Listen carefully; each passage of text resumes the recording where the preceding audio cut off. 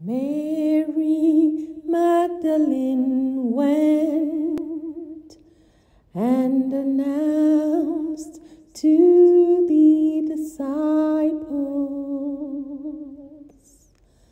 I have seen the Lord,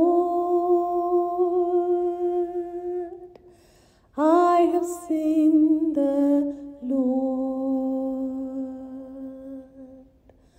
Hallelujah.